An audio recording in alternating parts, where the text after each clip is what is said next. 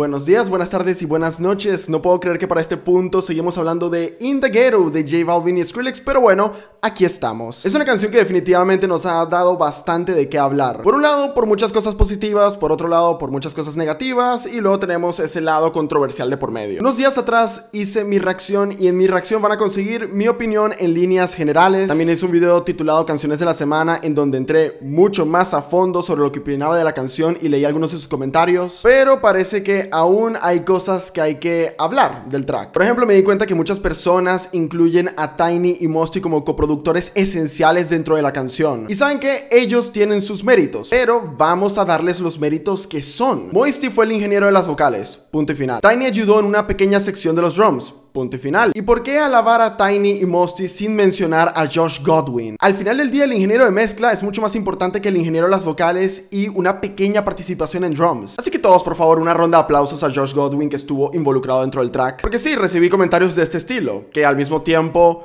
Aquí tienen la versión corregida para los que no pueden leer cosas mal escritas. Y puedo entender el trauma de tener a Tiny y Mosty para algunos dentro de la canción. Bueno, al mismo tiempo no entiendo el trauma, pero a ver, es por lo del sample. Sí, la canción samplea un track de 1996 llamado también In the Ghetto. Pero no sería primera vez que Skrillex samplea una canción suya. Entonces, ¿por qué alterarnos de este sampleo y no de otros? Probablemente es por el hecho de que el sampleo no fue el más creativo del mundo. Recortó el órgano, extrajo un recorte vocal. Así que sí, lo admito no es el sampleo más creativo o el más original del mundo, pero es injusto que hay personas llamándolo plagio, hay injusto que hay personas que lo están llamando robo cuando legalmente samplearon esa canción. Tienen la licencia del sample y saben que al menos lo llevaron un paso más allá. Me gusta mucho el track original, no se los voy a negar, pero agarraron esos samples y lo llevaron a una nueva dirección, una dirección latina, una dirección que muchas personas pueden llegar a disfrutar. Y yo sí creo que en gran parte eso fue por J Balvin y Skrillex. Así que veamos, coproductor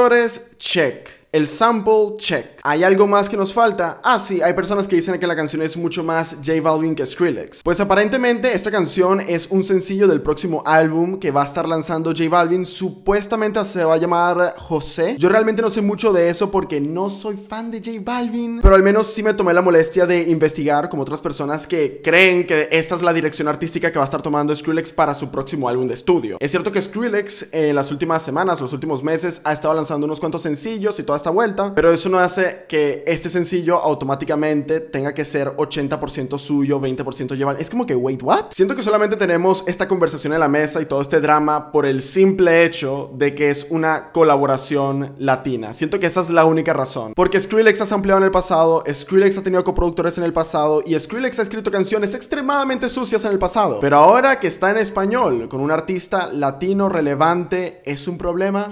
Ok. Mi opinión sigue siendo la misma de la canción. La he estado escuchando, es pegajosa, la he estado disfrutando, no les voy a mentir con eso. Cuéntame abajo en los comentarios, ¿te gusta? ¿No te gusta? Te estaré leyendo. Y si sigues confundido con todo este tema de ser productor o coproductor, ayer subí un video a mi canal en donde hablo de las diferencias de ser el productor de la canción, ser el coproductor de la canción y ser el artista de la canción. Así que puedes checar eso. Así que como diría J Balvin, esto se jodió.